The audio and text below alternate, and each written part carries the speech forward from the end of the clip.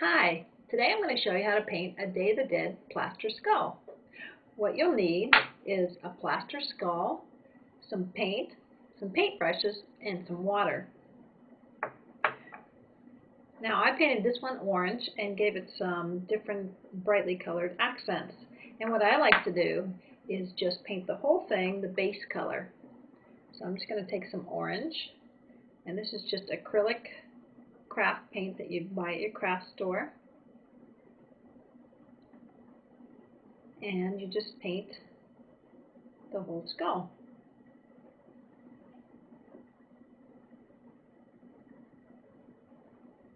And you probably want to give it two or three coats just so it's a nice bright orange. And I have one that I've already done so you can see what it looks like. And for this one, I decided that I would um, paint the little decorative accent on the, his forehead in pink. So I'm just going to take some pink paint and just paint that just like that.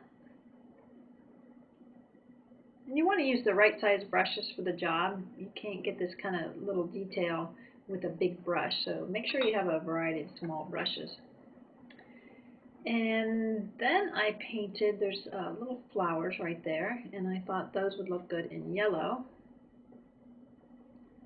So I just painted those. Painted one over here. And I'm just doing this quickly, but when you're doing it, you might want to take your time. And, um, and if you don't like what you've done, you can just paint the whole thing orange and start all over again. And his eyes, I decided purple. And you can use any color combination you like. That's what's fun about these. And I'm just kind of dabbing that in there.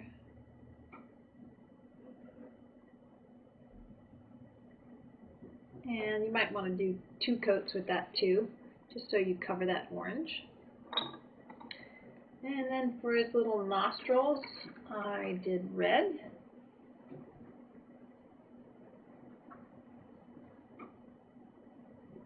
And I used a really tiny brush for that. It's a really small detail. Um, and then for his teeth, I thought green would work. I'm going to turn that around. I can't do those upside down very well. And, you know, again, the right size brush really helps when you're doing these little details. And in the center of the flower, I thought I'd put just a little pink dot. Instead of trying to draw a circle, I'm just going to take the end of my paintbrush and dot a little circle on. A little easier than trying to draw a perfect circle. And you probably want to wait till the yellow dries before you put the pink on. And then for his eyes, um, I did little stripes around the edge in turquoise. And so I'm using a very skinny brush for that. And I'm doing this pretty quickly but you'll want to take your time and try to get those stripes on straight.